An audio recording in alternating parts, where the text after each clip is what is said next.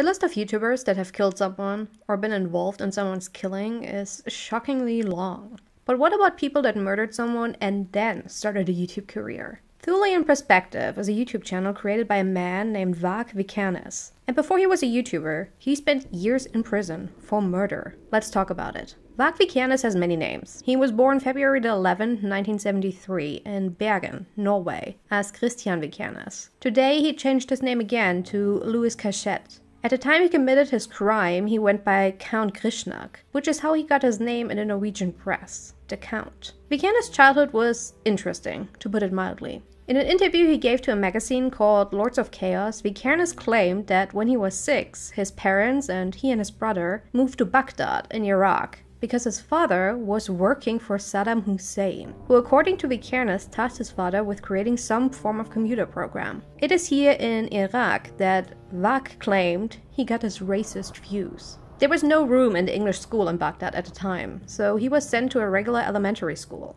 There, Vikernes claimed he first became aware of quote unquote racial matters, aka where he developed the thinking that he stood above other people because he was white. He explained it as followed The school had corporate punishment, and one time I called a teacher a monkey.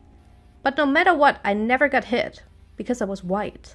His own mother collaborated his story about being in Iraq and that she never saw him being punished by the teachers. As she herself later said, this created big problems in his behavior. Vikernes had no good relationship with his father. He claimed in the same interview that his father was a hypocrite because he didn't want Varg to have a swastika flag in his room, when he himself constantly complained about black people living in Bergen. In a 1995 interview, he stated that he had little to no contact with his father. When he was younger, he liked classical music, but that changed when his parents divorced and he turned 12. He got really into heavy metal music. Iron Maiden became his favorite band and would be the inspiration for his future music career. Besides music, he was also a huge fan of Tolkien. His later stage name, Grishnackh, came from one of the orcs in the Two Towers book. He even named his first band Burzum, which means darkness and is inscripted on the ring. As I said, he created his first band, Burzum, in his late teens, and they became part of the early Norwegian black metal scene. From 1992 to 1993, he recorded four albums with that band, and he even turned it into a record label. In 1992, he joined another black metal band called Mayhem. Only a year after a member of that band, Dead, had committed suicide, Vikernes replaced the band's bassist, Necrobutcher, that had quit the band because of the band's guitarist's treatment of Dead's dad. Euronymous was the name of that member. On the 6th of June 1992, the 800 year old Fantoft Stave Church was burned to the ground by arson. Until January 1993, at least seven more churches fell victim to arson attacks. The perpetrator? Varg Vikernes. A jury found him guilty of at least four cases of arson, and while he to this day denies having anything to do with these attacks, he does like to give an explanation as of why the churches were burned down. According to him, it was nothing more than revenge for the Christian desecration of Viking graves and temples. In early 1993, tensions started to arise and escalate pretty quickly between Vikernes and Euronymous, whose real name was Øystein Aarseth. What exactly happened the night of August 10, 1993 is to this day not really known, because there are at least two versions of events.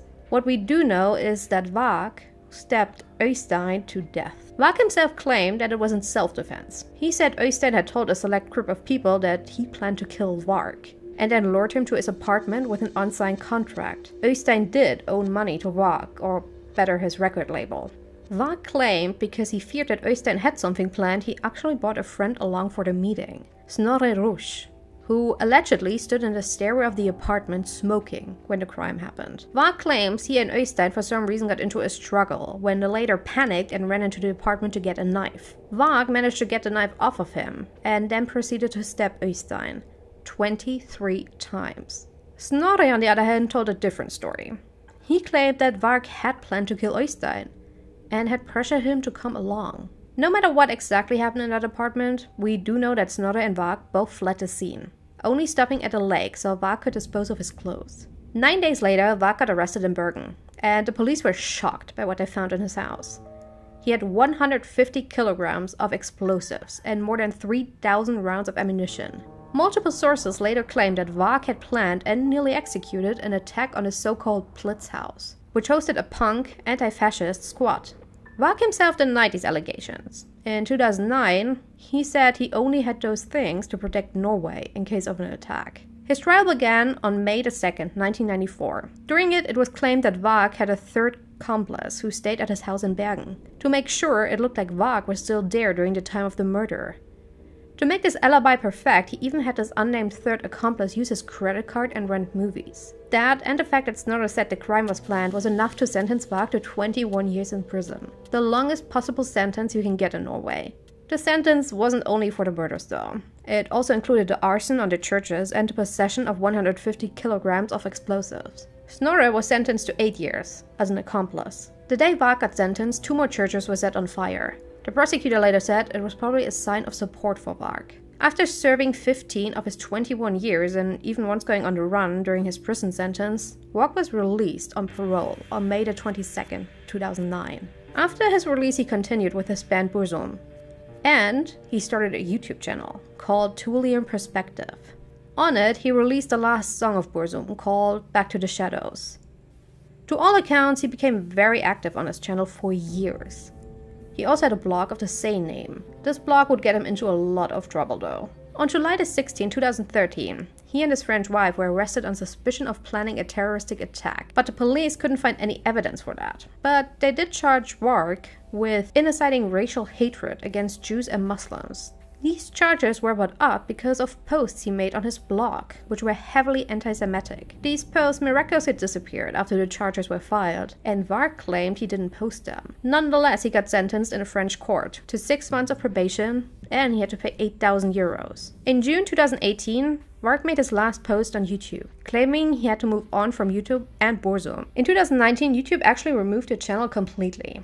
By the time the channel had more than 250,000 subscribers. This removal coincided with YouTube's statement that they would be more aggressive in removing videos alleging that a group is superior in order to justify discrimination, segregation, or exclusion. In 2019, Varg published his last album with Burzum, and that pretty much ends his story in the public eye. I hope you guys enjoyed today's video. Let me know what you think down below. Was it self-defense, or did Varg actually go to Oslo to kill his own bandmate? Leave me a like, and I hope to see you again in my next video.